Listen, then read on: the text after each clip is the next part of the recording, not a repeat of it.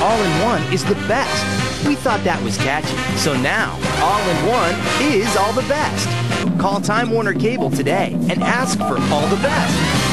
So it's a nice, comfortable morning with a great sunrise and a cool temperatures. 46 degrees at the airport, 46 degrees in Johnson City High School, 49 at Union Endicott High School. Stubborn Kirkwood called in with 47, and Bill and Whitney Point called in with double fours up in the point. And uh, the reason for these cool temperatures is because of this. It's a high pressure system that's making for some nice clear skies. So these high clouds are right here are what's are what's in the sky right now, and that's what's causing that nice sunrise. The sun beams are reflecting off those clouds, so it's all different colors. Definitely take a look outside. It's a really really nice picture out there. This system is, stay, is staying to our west for today. The, maybe the outer bands of these clouds will start rolling in, so we will see a bit more in the way of cloud cover today than we saw yesterday. But overall, more sun than clouds today. It's going to be a very pleasant day, and this uh, this this low pressure system is going to stay to our west. Actually, the reason that it's going to stay to our west is because of Hurricane Florence, which is right now spinning all the way out in the in the Atlantic Ocean. It's not going to affect the East Coast directly, aside for some moderately to moderate to heavy rip tides and rip currents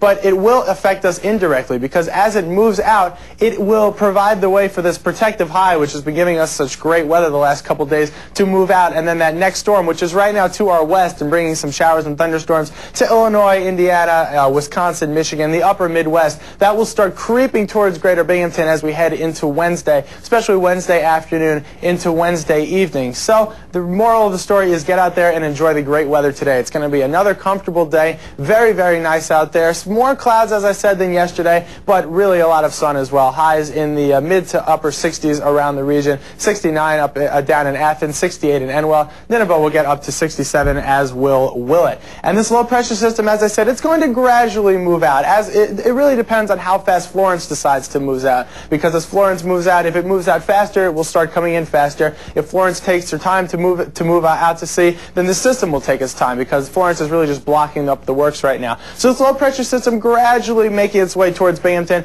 And as you can see, by Wednesday afternoon, Wednesday evening, we're starting to get right into the uh, right into the beginning of the rain. So we're forecasting a mix of sun and clouds on Wednesday. Not a complete washout, not 24 hours of rain, but we will see some showers and maybe a thunderstorm or two on Wednesday afternoon into Wednesday evening. And unfortunately, it's going to continue through most of the day on Thursday as well. So in the meantime, get out there. It's a very, very nice morning. Sun and clouds. Some areas of fog. They have been burning off in the past uh, in the past couple of minutes, and a really great sunrise out there. So get out there and enjoy that. A, a temperature of 49 degrees this morning. Very pleasant afternoon, 62 degrees at the midday and a high of 65 at the airport, 68 in our valleys today. Clouds will be increasing as that system starts getting close, especially areas to our west. They'll get the cloud cover first. Low temperature of 51 at the airport and 48 in our valleys. And then as that system gets closer, we have, we have increased chances of thunderstorms and showers on Wednesday afternoon into Thursday through pretty much the entire day on Thursday and then through Friday morning as well. But then after that system moves out on Friday,